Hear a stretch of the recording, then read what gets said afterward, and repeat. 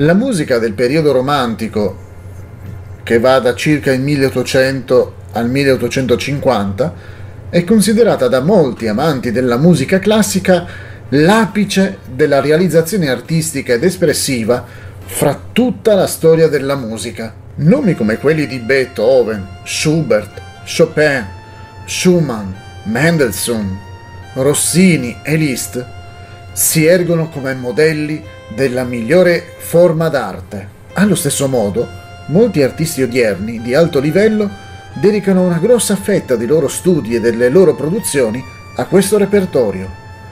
Le loro carriere si basano sulla musica romantica. Vi voglio invitare a esplorare e a scoprire i numerosi compositori e le relative opere che esaltano l'epoca romantica e non trascurate gli eccezionali artisti moderni che oggi rapportano con successo alle nostre orecchie. In un'occasione Robert Schumann dichiarò Per me la musica è sempre il linguaggio che permette di dialogare con l'aldilà.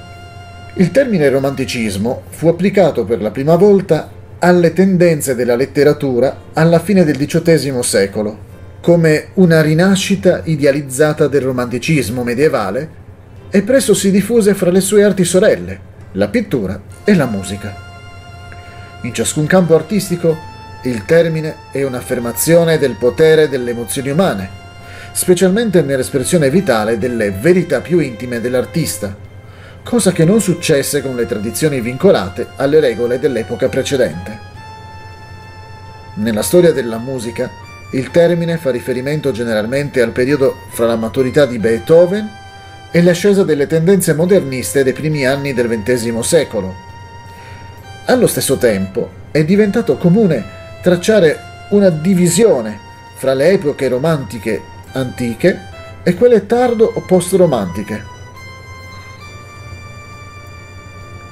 Le principali tendenze musicali del XIX secolo non derivano tanto dall'introduzione di nuove tecniche o di nuovi generi musicali, ma piuttosto da una maggiore accentuazione di quegli elementi che si trovano già nella musica del XVIII secolo, guidata dagli ideali romantici di espressione soggettiva e unità organica.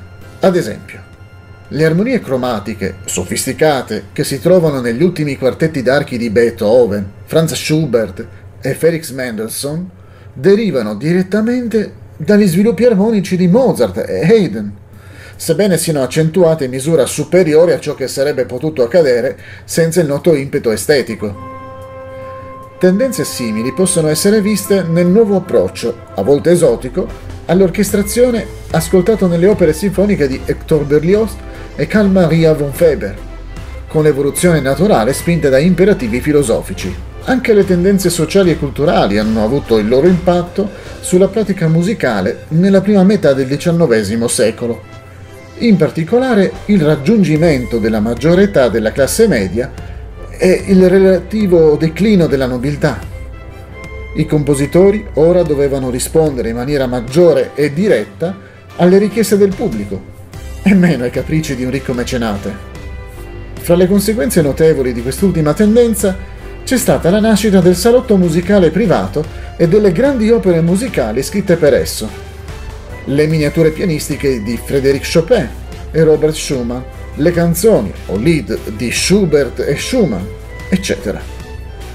Un'altra conseguenza fu un nuovo fascino per il virtuoso solista, con il pubblico abbagliato dalla prodezza tecnica delle opere di Niccolò Paganini e Franz Liszt.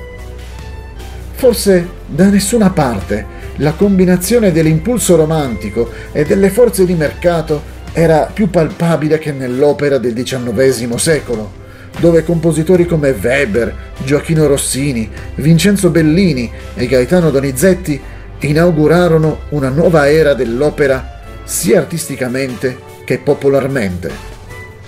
Nel 1850 l'estetica romantica era pienamente maturata e i compositori cercarono modi sempre più potenti per infondere le loro opere con emozione e unità, producendo una nuova era, il cosiddetto periodo tardo romantico.